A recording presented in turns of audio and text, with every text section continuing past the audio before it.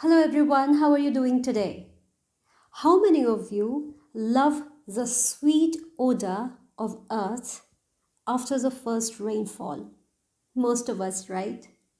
Before I disclose the word, I must mention the two Australian scientists who coined this term. Petrichor. Petrichor, yes, that's your 46th word Word a Day Challenge 2021. In 1964, Isabel and Richard came up with this word petrichor in Nature of Argillaceous Odor.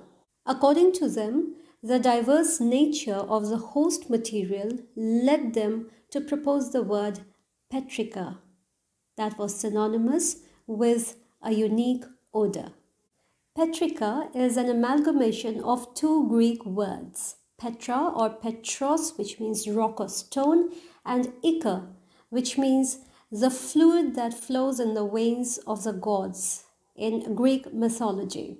As we believe that nature is God's creation, probably that's why Isabel and Richard decided to give this unique odor a godly name. So Petrichor means the unique, distinctive, earthly odor that's produced when the rain falls on dry soil.